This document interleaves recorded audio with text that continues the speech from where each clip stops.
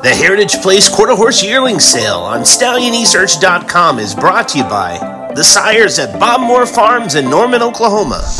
And hello again, everyone. I'm Greg Thompson of StallionEsearch.com, wrapping up the 2020 Heritage Place Yearling Sale of 2020 here in Oklahoma City. There was multiple horses going over the $100,000 mark. We're going to look at the top four of this closing session of Heritage Place 2020.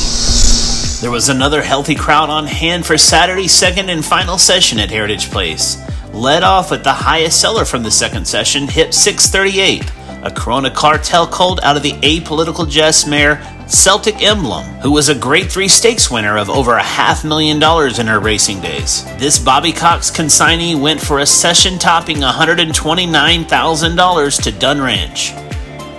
The second highest from session 2 was another Corona Cartel colt this time out of the Blue Hen mare Little Surfer. This colt is a full brother to the Grade 1 winner and AQHA champion Uncle D, as well as being a full brother to stakes winners Riptide and Stakes Place Call Me Cole. The Lazy E consigned colt, agent for McCauley Land and Livestock, was sold to Jimmy Harrell for $128,000. The third highest selling yearling from day two was Hip 475 an Ivory James colt named Insight out of the Mr. Eye Opener mare named Eye Popping. This great colt is a half brother to the 2020 Heritage Place Futurity winning Shotgun, as well as a full brother to the 2000 All American Futurity runner up Instigator. The Bobby Cox consignee went for $110,000 to Jose Espinoza.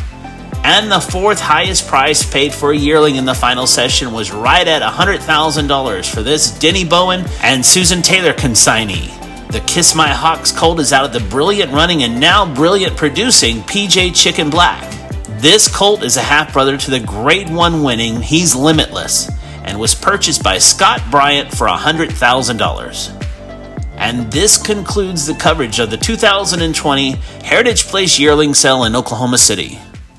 Introducing the brilliant stallion roster at Bob Moore Farms in Norman, Oklahoma. The champion three year old colt and 2019's number one first crop sire. He's Relentless. Sire, the TQHA Sales Futurity winner, Relentless Dynasty. The three time Grade 1 Futurity runner up finisher, Doc's Best Card. A qualifier and runner up in all the four major Futurities at Los Alamitos in California. The champion and two time Grade 1 winning Flying Cowboy 123 one of only three horses ever to win the Texas Classic Futurity and the Texas Classic Derby. The two time AQHA champion as a runner and world champion as a sire, FDD Dynasty, who produced two time world champion Jesse's First Down. All these sires are standing at Bob Moore Farms in Norman, Oklahoma.